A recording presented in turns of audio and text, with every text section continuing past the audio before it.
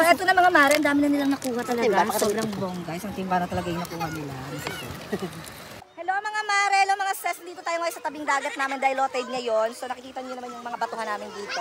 Marami kaming pwedeng kuha dito. Pwede tayo kumuha ng talabat, tahong o kaya suso.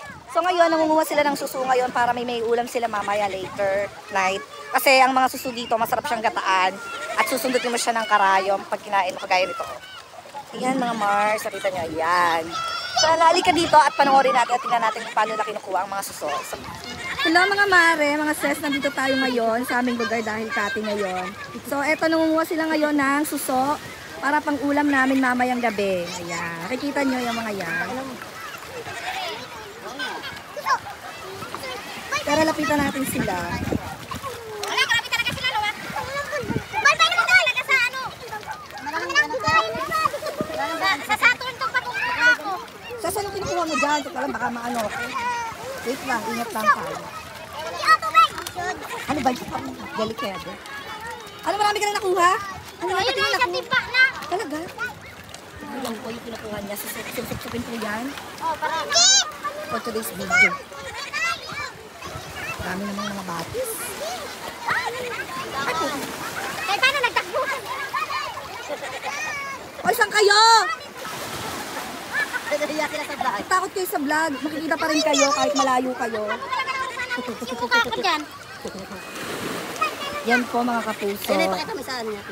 Patingin ako, be. Ito po yung nakuha niya.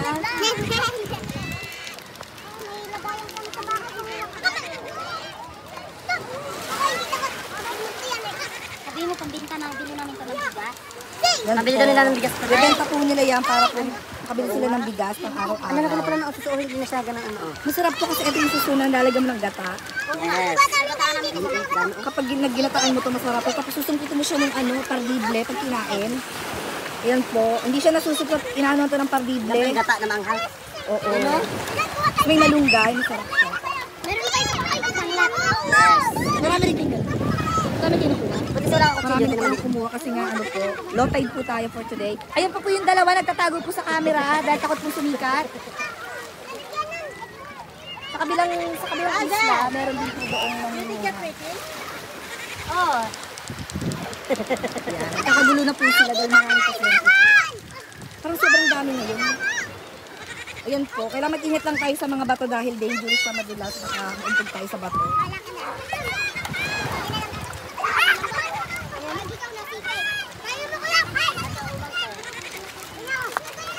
Sarap yung gata, no? Wait lang, parang feeling ko. Sige, matuwad ka dyan. Ayaw man. Umak talaga?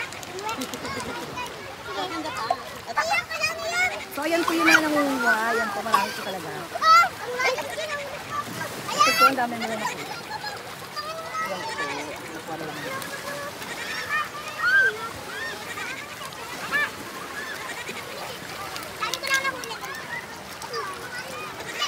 Yan po yung mga kinukuha nila.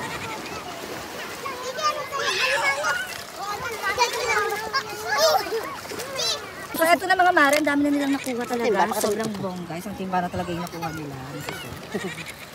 So, ayan po. Talagang sobrang dami at sobrang sarap po talaga ito pag binataan natin ng bongga. Ang mga taon din. Kasama rin siya mga tahong. Ayan, maliliit pa yung tahong. Sabi ko siya na. Bebenta po nila to para po meron silang makain. Para meron din bigas mapili. Sobrang dami. Masarap yan sa gata. Gata, no?